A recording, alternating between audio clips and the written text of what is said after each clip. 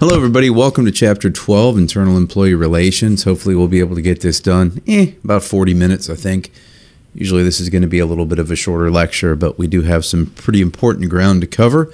I think when we talk about employee relations and we talk about HR, I think that's what a lot of people think of. They think of what happens when I'm in trouble, what happens if I have a problem, who do I go to, sort of where management and employees meet is in HR. So we get involved in terminations, we get involved in employee discipline, we get involved in some of the more messy situations where we have to manage people's movement in the organization, but also keep in mind organizational goals as well as legal compliance. So, internal employee relations, when we talk about that, we're talking about how people move in the organization promotions, demotions, hiring, terminating, suspension, etc. It also talks about the relationship between employees and employers. The responsibility of HR is to protect the company, not to protect managers, not to protect employees.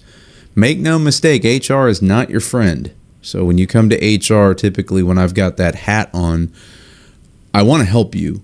I do. I do want to help you. I do want you to work out as an employee. I want you to feel good. I want you to feel comfortable. I also want to make sure that we have a good environment, that we have a good culture, that we don't have a place where people feel afraid or where people feel like they have no voice. So it is important that companies listen to the employees and me in HR that I listen to the employees.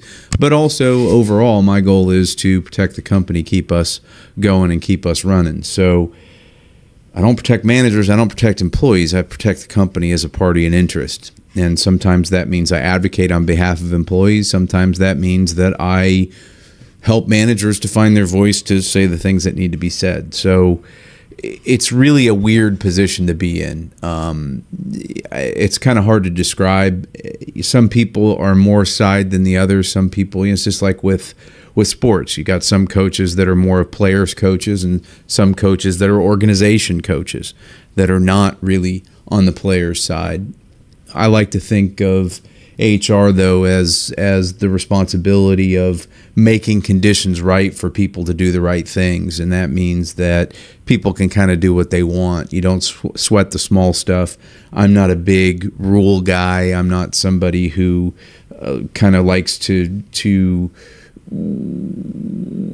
advise management to manage people out. I don't really like that. You know, if we can find ways for people to be successful and for everybody to be happy I know it's cliche, but win-win. I mean, that should be the goal of HR is win-win. That it's it's hard to recruit employees. It's much better to save employees. So if we can make them feel more comfortable, if we can make the environment better, sometimes we have to train managers. Sometimes we have to get rid of managers because they're not being effective because people don't feel comfortable and they they vote with their feet.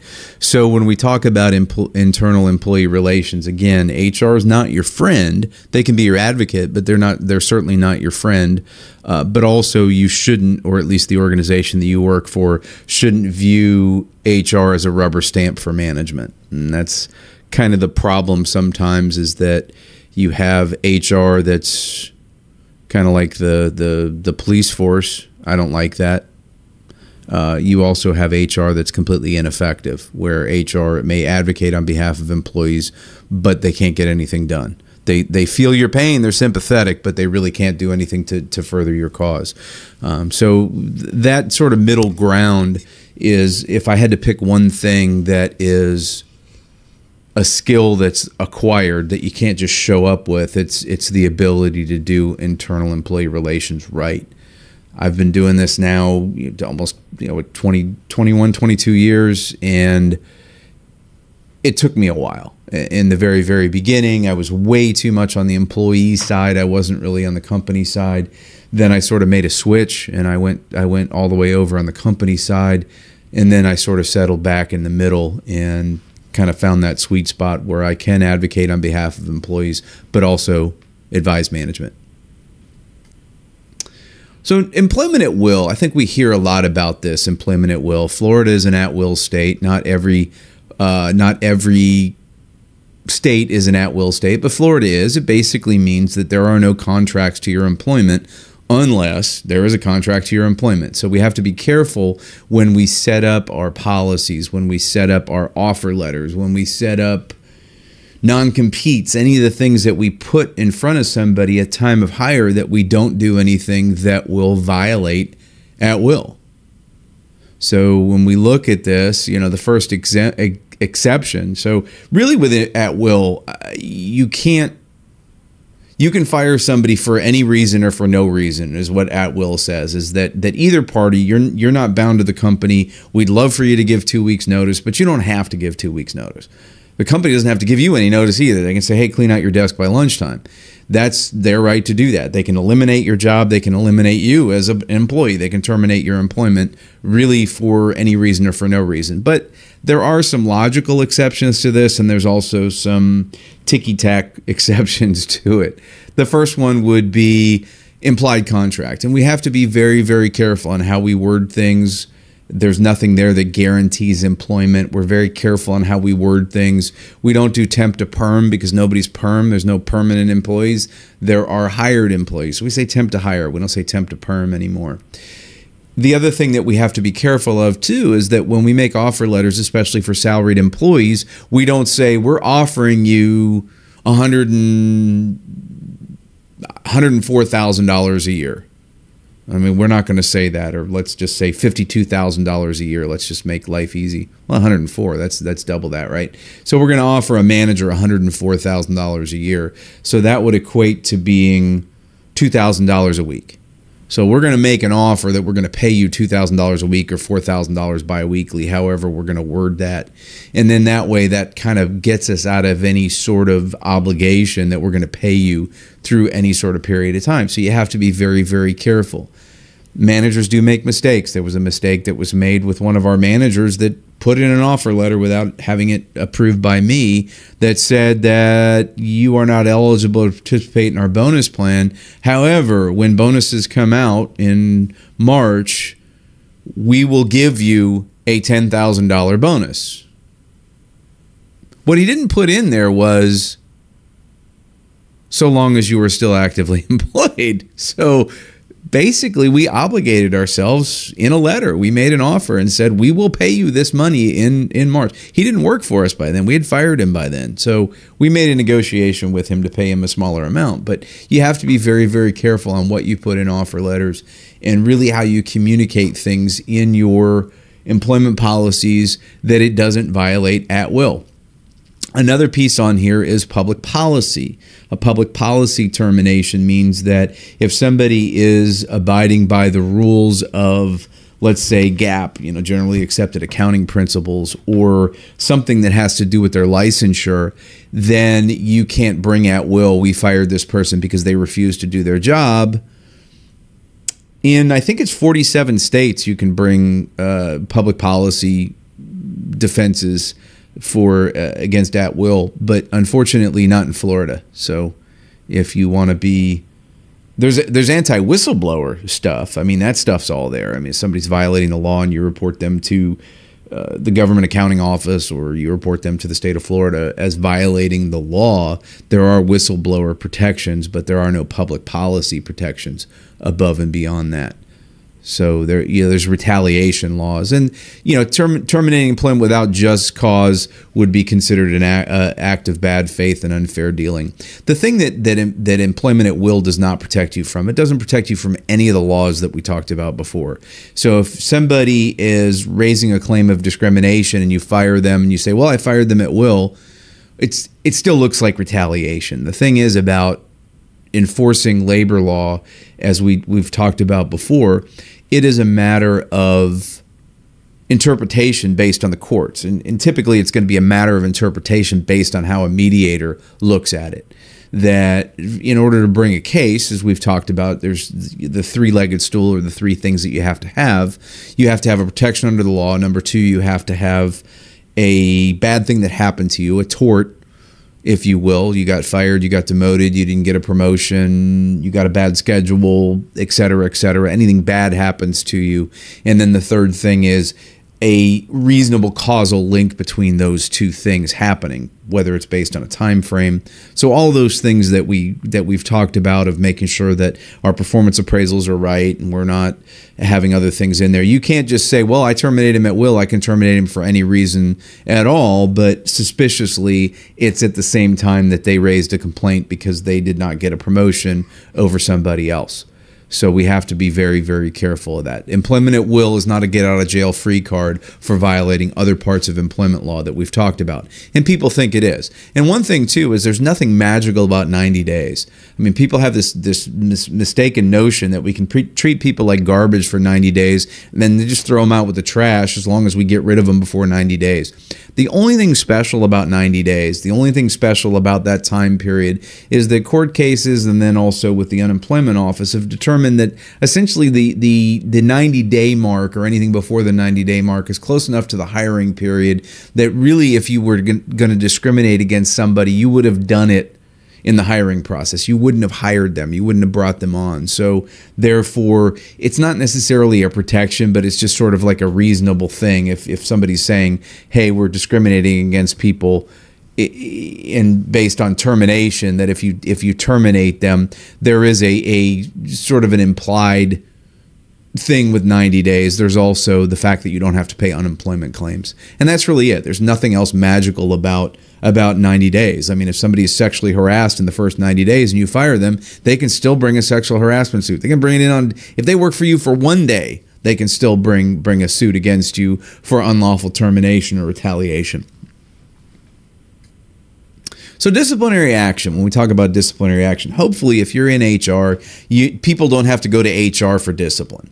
My whole philosophy on discipline and firing people you hire them you fire them if they're your employee if they're assigned to you if you're the one that observed the behavior then you're the one that is responsible for doing that. Now there are certain circumstances in certain cases where hr does need to get involved. If somebody's involved in a motor vehicle accident or if they test positive for a drug test or if there's something else that's involved that that it's more of a compliance issue that we're terminating them for I may get directly involved in that and I may just say, hey, man, the company's firing you, your manager's not. You violated a, a cardinal rule that we have, and, and I'm firing you on behalf of the company, but essentially you fired yourself. That you violated this specific policy, and we have no choice other than to terminate you. But I don't generally get involved in discipline or disciplinary action for somebody that's not my direct report I may be involved just as a witness, and I'm there as a witness sometimes because it might be a case that we might have some EEO exposure. It might be a case of somebody that we've had issues with in the past. We want to make sure that there's a witness. I might be there as a logical witness. I might sit there and add some words to it, but I'm not the one who actually does that. But ultimately, when we look at the disciplinary action, we're looking at what did the employee do? What should they have done? What should they do differently the next time it something happens? And then finally what's going to happen to them if it continues? And that's really what disciplinary action is and, and a progressive discipline policy kind of works through that. So we're going to look at the behavior we're not going to look at the person. We don't look at attitude. We don't look at anything other than behavior so it's very, very important because it's not subjective, it has to be objective. It's not that the employee was subordinate, it's that the employee yelled in a meeting and used profanity. That's the behavior. That's what we're looking at. The next thing is on here, it shouldn't be applied haphazardly or it shouldn't be applied uh, singling somebody out. I'm not sure what the word is that I'm looking for right now, but we shouldn't be singling anybody out. That when we look at discipline, what's everybody else doing? What are we tolerating? Because sometimes what happens is with employees is somebody gets on your nerves, and they get on your nerves. You get they get on your nerves. They get on your nerves, and finally you just have enough, and it's like I need to I need to deal with this. But that may not necessarily be discipline. Maybe that's a meeting first. Maybe we calibrate expectations. So that shouldn't be our initial response. When we find a problem, we shouldn't be constantly documenting and writing people up. Look, people don't want to be treated like they're in high school anymore. They don't want to get demerits. They don't want to get detention. They don't want to have any of those nonsense things that we had when we were growing up. We're adults and we treat people like adults. So we shouldn't immediately be writing up all infractions, writing them up on a slip of paper and having somebody sign something because nobody wants to sign anything. It doesn't feel good to anybody. I don't care what level you're at, I don't care what your role is. Nobody wants to sit in a meeting with their manager and have them slide a piece of paper across to them that they have to sign that they come in late too much. We don't want to have to deal with that. So, really, in those situations, we probably should have a meeting with somebody go, hey, man, you keep coming in late. I don't know why. I don't really care why. You just need to come here on time, okay? I don't want to have to write you up. I don't want to have to do that. Please don't make me do that. Come in on time. So we normally have more positive ways that we can get people to do the things that we want them to do.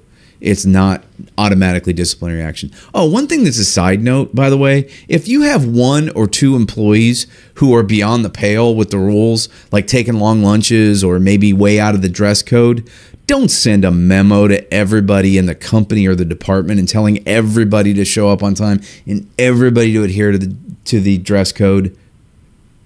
You know, have some courage.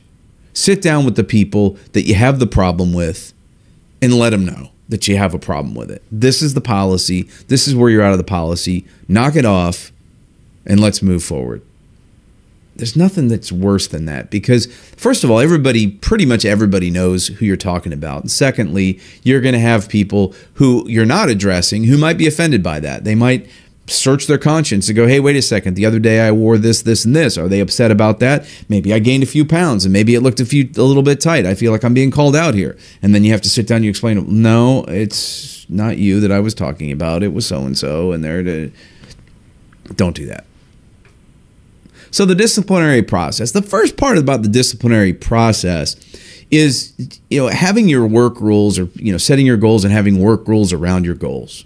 And making sure that you have the rule in place. Is there a rule? Does the rule exist? Or is this just something in my mind? And then we have to communicate those rules, whether that's in policy, whether that's shooting out an email, posting a memo, I don't know, whatever you have, constantly reminding people of what the expectation is and what the rules are. And then if somebody's not obeying those rules, you observe that, and then you are going to take appropriate disciplinary action. That's where that is. That, you know, typically, as I think I talked about before, you know, when you have rules, generally there's a reason behind the rules. And if there's if the reason is gone, get rid of the rules. I mean, companies our company's been around for 55 years. I'm sure over 55 years, there's rules that we've had to establish and the rules that we had to get rid of. So, a good example of how rules get set and how things happen, I think I told you guys about this earlier this semester. I was in the office and all of a sudden I heard a loud boom and the power went out. So, we all went outside to figure out what the heck happened, and there was a dump truck that was fully extended that hit the power line, the main power line that serves our entire area knocked it all out, knocked knocked the, the main leg of power, so we lost power. And we all had to go home and I guess thank goodness for COVID. Wow, that's the first thing I've ever said that. We were all equipped to go back home and, and work for the rest of the day because we had no power. But that's what happened. We we completely lost power. We lost power to our servers. We lost power to everything. We had to get all of our backups going. Everything happened, and the guy who extended his uh, uh, dump truck he had it all the way up. I don't know if I said dump truck or forklift. I meant dump truck if I said forklift. But he had his dump truck all the way extended and the power line laying on top of it and sparks are flying. He's running away from the dump truck. So the very next day, there's a big, big sign, huge yellow and black sign that says, Warning, overhead power lines. And it's still there right now. They're working on that construction site and they got that big, big sign that's there as soon as you get there. So that's kind of what happens with company policy. You don't think of anything until it happens, and then it's like, oh crap, we need a rule about this. We need to stop it. So, so dress code. If you go to a company and they've got a very, very specific dress code, there's probably somebody's name that's attached to that. Maybe they still work there, maybe they don't. But that's generally why you have a lot of those rules. Something happened. If you have very, very strict driving rules, you know, how's my driving and cameras and dashboard things or whatever, chances are pretty good that somebody probably did something really stupid in a company vehicle and it made it necessary for comp- the company to do that to make sure nobody did something stupid again. So a lot of times we have those things that happen. Now, when we establish those new rules because of what happened, because we're paying out money, which which is against our organizational goals. We establish those rules. We need to communicate those rules to employees, and we need to communicate them well. Had a circumstance with, uh, speaking of driving, had a circumstance where we had a lot of at fault auto accidents with a particular location. So I alerted management. I said, look, guys, we're having a lot of at fault accidents, a lot of people being careless, backing into things, hitting other people, rolling through stop signs. We really need to tighten this up. I said, okay, we're on it. We're on it. So, about four or five days later, I had an employee come into my office and said, My boss discriminates against Hispanics. And I said, Well, why is that? And he said, Well, I got into an accident. I was at fault and I'm suspended without pay for two weeks. And nobody else has ever been suspended without pay for two weeks. So I said to the employee, Well, let me look into it. I said, I think I know what happened. Let me find out. So I called the manager and I said, So walk me through the process. He said, Well, I took what you had to heart, what you said to heart. And the first guy that got in the accident, I suspended him for two weeks. And I said, Well, that's great, but you missed one very, very crucial step. Had you gotten your entire team together and sent out a memo, had them all sign it, or just were present in a meeting and said, hey, the next one of you guys that gets into an at fault auto accident, I'm going to take away your truck and I'm going to suspend you for two weeks. Are we understood? And then they all say yes, and then they go on their merry way. You can't just willy nilly just establish a new rule and not tell anybody about it, especially when it's that stringent. I mean, you're taking away somebody's pay for two weeks. So the manager didn't feel good about it because I told him, you have to tell him to come back and we have to pay him for the days that he has been out. You can't do that. So you have to be very, very careful. That middle piece, communicating the rules. You can't just have secret rules and then take disciplinary action. I mean, certain things are self explanatory, right? Like stealing and threatening people with violence. So approaches to disciplinary action, you know, the hot stove rule. As soon as somebody does something, you should let them know what's going on. So just like when you touch a hot stove, you burn your hand. If somebody does something wrong, they need to be told that it was wrong. You don't just add it up. You don't just wait until their review. You don't wait two months. You know, one of the things with one of the managers who's thankfully retired in certain respects in my organization, one of the things he used to do is he used to write up a book about employees and, and he would have all these things and all these reasons to fire them. And then he would go search out a new employee and he would wait a month and a half, two months to find a new employee to replace them. And as soon as he had the replacement, then he would go and fire them.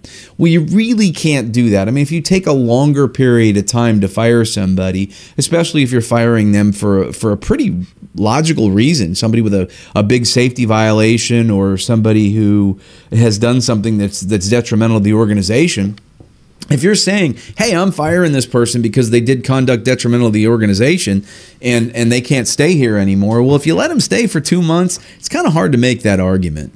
Um, you know, the next thing, progressive disciplinary action. We should have appropriate disciplinary action to the crime. I mean, the punishment needs to fit the crime. That you know, somebody coming in late, the first time we, they come in late, we don't fire them that typically we're gonna we're gonna look at things the more serious that it is we might immediately go to written warning or suspension you know, for example somebody that fails a, a, drug test or one of those things obviously that's not uh, uh, just a meeting to recalibrate our expectations on on on drug testing but certain things, you know, hey, we, we may have a meeting with somebody, disciplinary action without punishment. We might sit them down and say, look, you need to get your act together. You need to figure this out. That may be your first step. You know, we may call that a verbal warning. We also may just call it a meeting or a calibration. I like the calibration. So this is sort of a decision tree with disciplinary action. You know, how, how serious is the infraction? How far do we want to go? So that's all in your book. You know, you can take a look at that if you want. But ultimately, if somebody's not doing what we want them to do, they're going to get fired.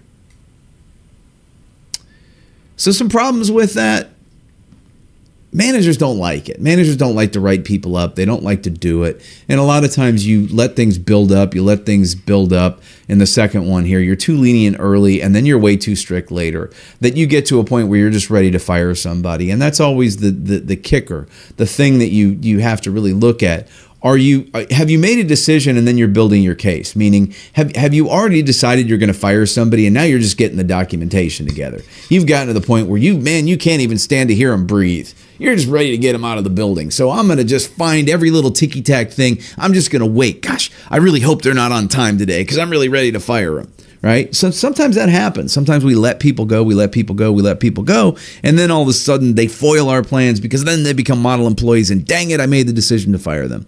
We shouldn't really be doing this. In an ideal environment as managers, what you should be doing is you should be gathering evidence to make a decision not making a decision and gathering evidence. You see the difference in that? So if you if you're gathering evidence to make a decision, you say, okay, is this a good employee or a bad employee? I'm going to gather evidence. Okay, I'm going to go back and look and how many days were they late this week? That's a lot different than standing at the door with a stopwatch to see when they're going to show up because you're ready to write them up. Um, you know, another problem with that too is we, we want to praise in public, we want to discipline in private. That we want to make sure that that really we, we find the right place to do it, we find the right time. Do we want to do this at Friday on a Friday afternoon so they have the weekend to think about it, or or do we want to do them on a Monday morning so they start the week off right? And it really depends on the employee and it depends on the situation. So we need to carefully think that out. Where are we going to have that? You know, if we if we have a, a management or we have an office that's like a fishbowl where everybody can see what's going on, they can see what's what, what we're doing you know, that's uncomfortable for the employee. The employee may not may just want to get the hell out of there as quickly as possible. So we have to be careful that we do pick the right place to do that. So termination, that, that generally when we fire somebody, we should terminate them for just cause. We should have a good reason for that. And and that's going to be based on our work rules and it's also going to be based on certainly the severity of it. That if somebody accidentally does something that's different than if they do it on purpose. There's a difference between somebody who's involved in an auto accident because they're careless and somebody who's involved in an auto accident because they're drunk and texting. I mean, those are going to be completely different things. The other thing with termination, too, is, is in order to do it right, you shouldn't have one person making the termination decision. Now, there are certain circumstances where, look, somebody does something way out of bounds uh, if, if, somebody's on a job site, the superintendent shows up talking to the guy. The guy threatens the superintendent. He runs to his truck. He grabs a, a pipe wrench, starts running after his superintendent. The superintendent is well within his rights once he's in a safe place to say, "Hey, you're fired." Now, now that hasn't happened in my organization, and I hope it never does. But that would be something that you really probably, at the heat of the moment, can terminate somebody. But other than that, you shouldn't be heat of the moment terminating anybody. Just shouldn't be doing that. So there should be a policy, whether it, it's run through HR and senior management, depending on the size of your organization, might be the the the department lead or the division head that is uh, is the person that's responsible for blessing that decision. We don't want somebody just haphazardly terminating because you know it's not fair to the employee. Number one, number two is it subjects you to legal jeopardy, and number three, if the manager's a hothead, they might be stopping us from achieving organizational goals because they're just quickly just ready to fire somebody. So when we fire people, these are my tips on on how to do that. You know, first thing is you pick the appropriate time. When are we going to do that? Does it have to be done immediately? Can it be done at the end of the day? Do we want to do it in a in a time where there are less people there, whether that's first thing in the morning or last thing in the day? Is there, eh, you know, if we're terminating somebody for performance, we have a time frame for that. If we're terminating somebody because they've done something really, really bad, obviously the time frame is a little bit different. We can't really wait too long to do that because we need to exit them out of the organization as quickly as possible. So when we actually pick the appropriate time and, and you want to probably throw in there is is just plan what you're going to do. Plan what you're going to say, plan how the meeting is going to go. Just like you do with with interviews, you want to kind of center yourself and think about what you're going to do. Once you get the employee in there though, you want to do the termination quickly. You want to let them know within probably 15 to 20 seconds that it's the purpose of the meeting. If somebody, you know, I'm calling in an employee, we'll just call him Buddy. I got a dog named Buddy. So I'm going to fire my dog. So, Buddy, uh, we've had three meetings before about your attendance. And we told you the last time that we had a meeting that if it didn't improve, that we were uh, would consider terminating your employment. Unfortunately, you missed three days last week and we're going to have to let you go. I'm sorry. So that's kind of where you do it. However you say it, don't say that somebody's terminated or fired.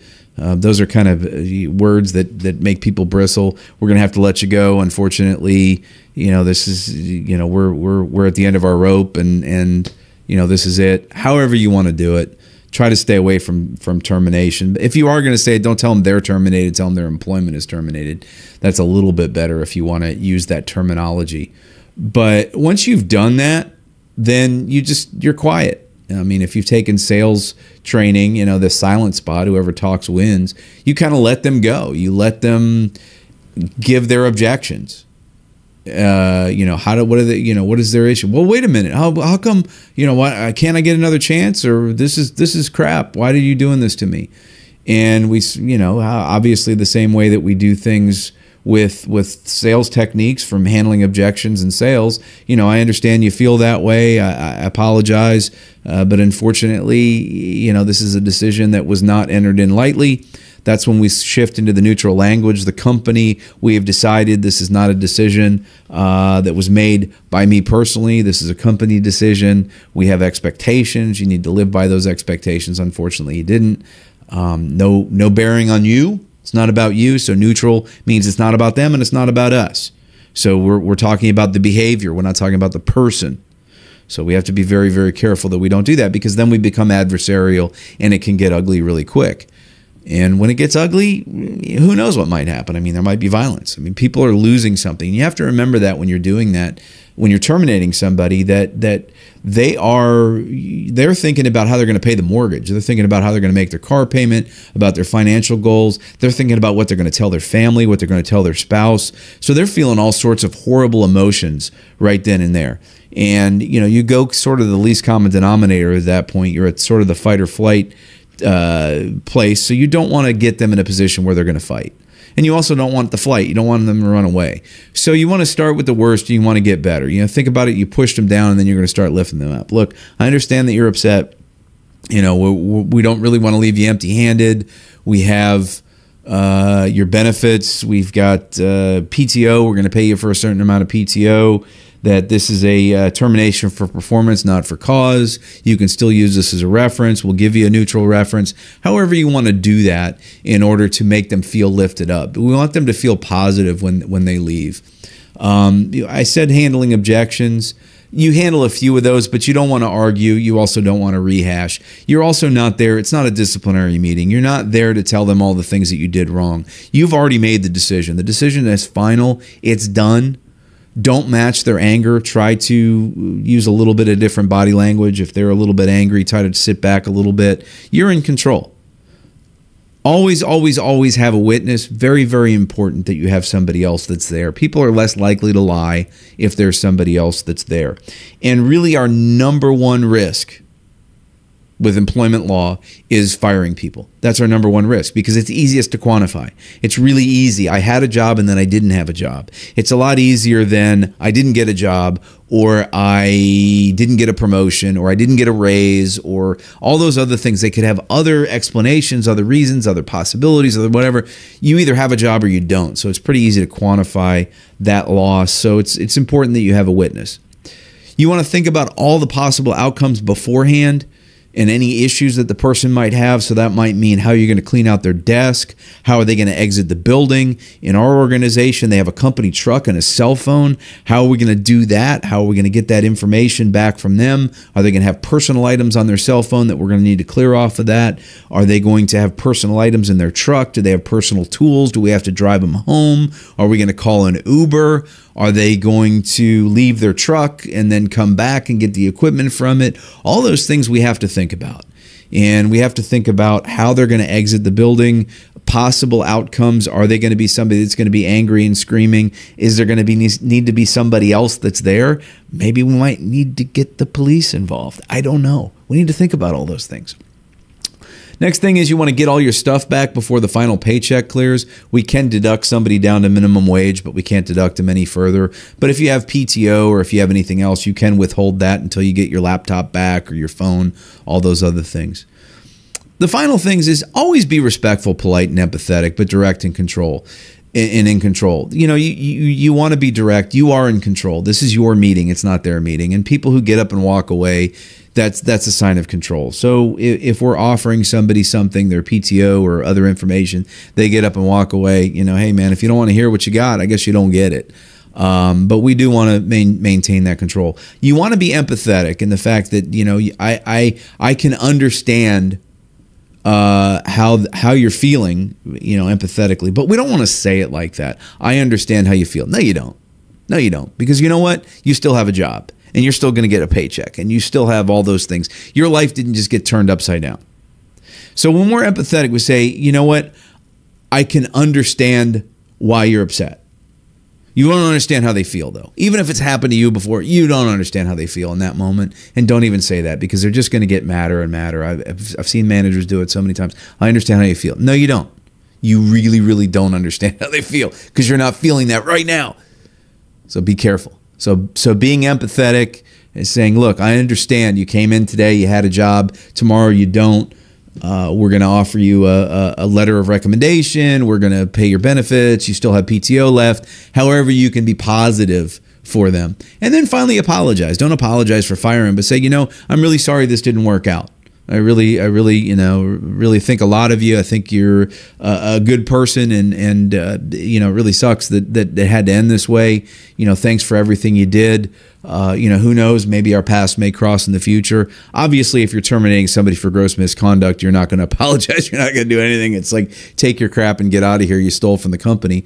But for most of our terminations, they're not going to be that way. So, I mean, if we're good to people on the way out the door, they don't sue us. Uh, they, they're not going to be workplace violence. They're not going to feel like their whole world was shattered and that, that we shattered it. That we can do nice things for people, whether that's keeping their benefits active for a month, making sure their PTO gets paid out, explaining to them how they get access to their 401k. All those things should be part of your termination process. So we're going to probably treat people a little bit differently. That when you get to the executive level, you know where all the bodies are buried. So generally, when you're at the higher levels of the company, there's a lot more things that you have to consider. There's a lot more moving parts than if you're terminating somebody that's just been with the organization for three weeks and they're in sort of a production role. So we have to be careful uh, on that and how we plan that, how we look at that.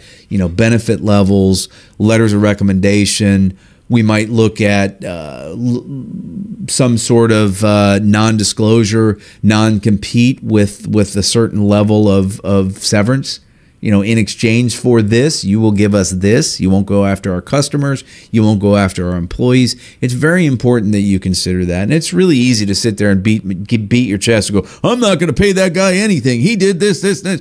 Well, sometimes you have to protect your business interest. And I'm sorry if you're not at the management level, but when you are at the management level, you can do more things to hurt the company. So you do have to consider that and maybe your policies and your procedures on termination, how much severance you pay, whether you have a severance agreement, whether you have any other sort of uh, termination perks, if you will, uh, golden parachutes as they call them it's going to vary based on what level you are in the company. So one of the things that we we have to look at is is downsizing, and and fortunately we haven't had to deal with this for a while. I had to deal with this when I did mergers and acquisitions at my last job and hated that. You'd buy a company and you'd basically eliminate the entire management staff and then keep all the production staff. The other thing with downsizing too is in a down economy like what we had in the Great Recession, we were we were struggling. We uh, we declined. I mean, our business declined by you know thirty three percent. We went from sixty seven million down to forty two million. I think that's about what that number is. It might even be higher than that. But yeah, it was a significant reduction in the size of our company. We closed down offices. I mean, we we just we were trying to survive. And sometimes you have to restructure. Sometimes you have to change some things um, you know, and this it's tough. It's hard. It's it's it, you know, growth is hard too, and and trying to grow for people. But it's even harder than that to to try to make it the right decision. Because a lot of times too, when you look at at uh, unemployment, unemployment's usually a lagging indicator. Generally, people are laying people off right when the business is starting to grow. So and that's what it is. It's typically a reaction because you you, you want to hang on to people as long as humanly possible. Let's hang on to them, and then you get to the very end and you're actually uh, coming out of it, and then you're letting people go. I mean, it's sort of like if you're if you're coasting down to a stop stoplight and all of a sudden it turns green. It's hard to get that momentum back, right? Because your your momentum is to stop and to slow or whatever, and then now you try to hit the gas, and it's like, well, I can't get the gas because I'm slowing down, and that's kind of what happens a lot of time in downsizing. It really it really sucks. It's not a good situation to be in. and eh, you hope that the, the decisions that you make are, are quasi permanent, that you're not going to be sort of downsizing one day and then growing the same thing the next day. That you know we we we cut this department in half, and then within six months we're trying to bring it all back. Publicly traded companies end up doing that a lot, and it's really just a pain. So negative effects of downsizing, and of course there are a lot. You know, you've got that grieving period that employees are down there, and they're also concerned that hey, I might be next, so so I'm going to look for another job. Uh, you know, advancement opportunities. We got we may have gotten rid of uh, departments and divisions and management levels. Maybe the span of controls increased. That middle level of management is is a less of an opportunity for me to be a part of of company advancement and, and my leadership pipeline. It's going to reduce loyalty. That people are going to feel less safe. That the company's going to take care of them. So it's sort of every person for themselves. You lose that institutional memory. You lose a lot of talent. You lose a lot of resources, and it requires other people to do a lot more things. And the final thing here is what I just was saying about about you know it being usually uh, unemployment being a lagging indicator of the economy because companies wait too long to do the downsizing that they were going to do, or they do it as a reaction, not necessarily as a proactive measure. And then you've cut too deep, and you can't you can't you can't right size it. You can't you can't get back to it. Um, you know the the other thing with it too is a negative effect of it. Typically, it negatively affects older workers, older employees, because they usually make more money. Usually, they are less um, less flexible in what they're doing. They're they're kind of coasting near the end, and you know they've been around for a while. Also, they may be working and doing jobs that are becoming obsolete, and it's just the the, the fact of life that that you know once you get to, to be in your fifties and sixties. You do have to worry a lot more about downsizing, which sucks because you're trying to plan for retirement. And you're trying to work out the string to be able to go. So that is a, a, serious negative effect of it. And as I get into my 50s, I have to think about that a lot more than I did when I was just a young kid in my 30s. Those of you in your 20s are going, 30s, that's not a kid.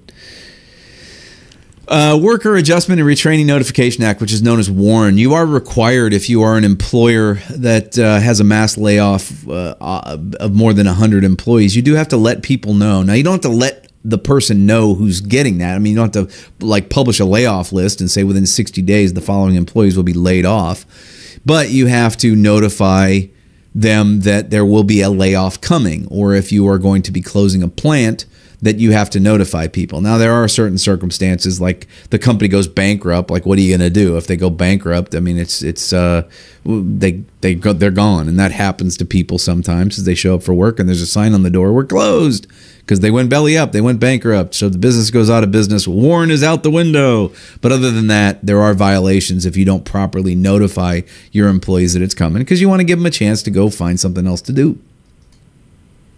So severance pay is very, very important, and it's important to do for layoffs, especially with your older workers, because what you're able to do with severance pay is you're able to do a general release of claims, which waives their right to recovery. Now they don't waive their right to testify, they don't waive their right to be involved in that, but they do right, uh, waive their right to recovery under that specific law. So if you've done your severance agreement properly and you've followed the right recommendations on notification of rights under the severance policy, then someone could basically waive their right to recovery under the Age Discrimination Employment Act, under EEO laws, under Title VII, under ADA, et cetera, et cetera.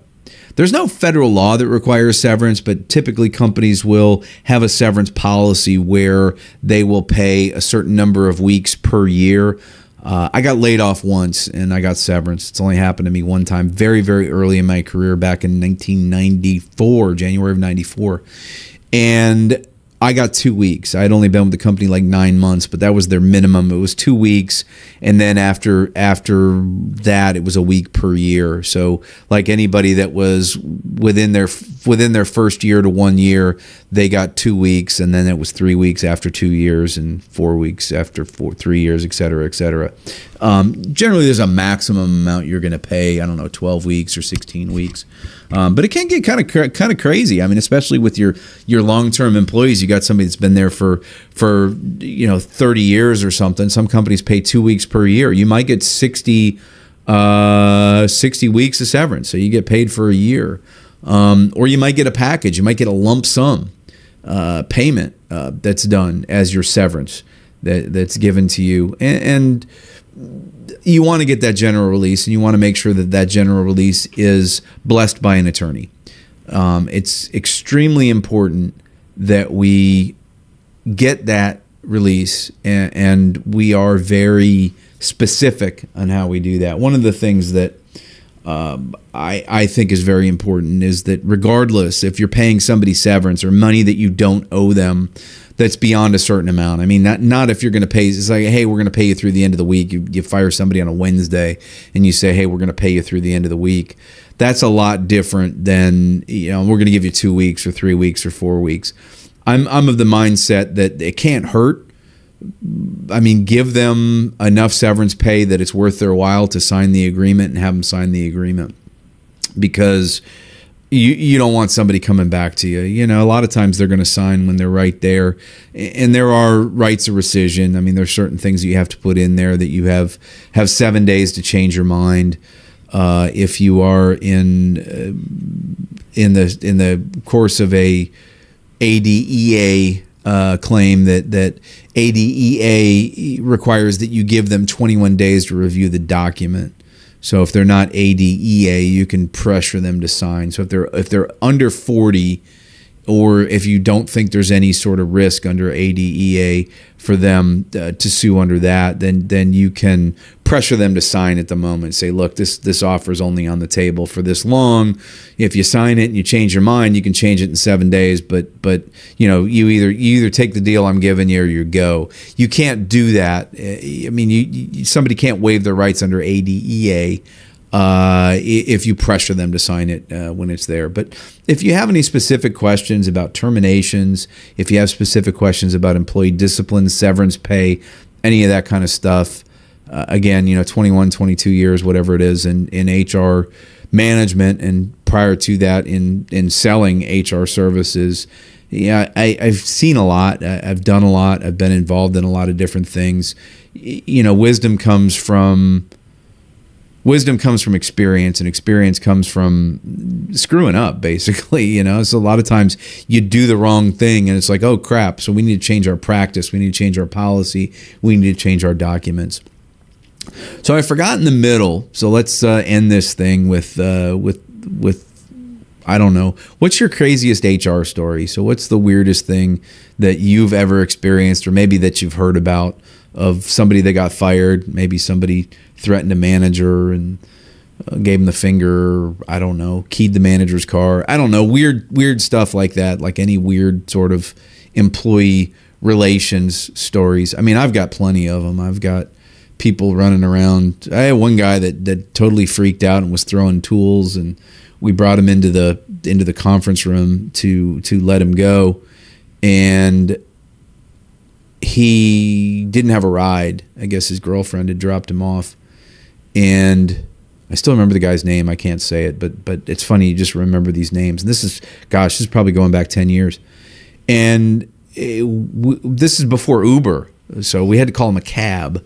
So we're waiting for the cab to come. And back in the old days of cabs, they weren't real reliable. It took a while. So we had to kind of babysit him in the conference room for about an hour. And he alternated between screaming and punching his head uh, to apologizing and begging for his job back. So that was probably one of the most uncomfortable hours of my entire life. So that is probably my my top of the head best story. Anyway, give me your best shot. Thank you everybody. Hopefully you're going well in the projects. If you're having any problems, issues, or you want me to review anything, I am willing to do that. And I'll shut up now. Have a great week.